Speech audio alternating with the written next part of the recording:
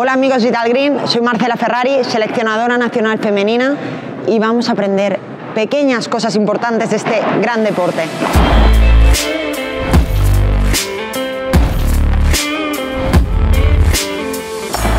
Aconsejo siempre ir a clases con entrenador o entrenadora, pero si quedáis con unos amigos, no hace falta hacer partidos. A veces podemos conseguir objetivos.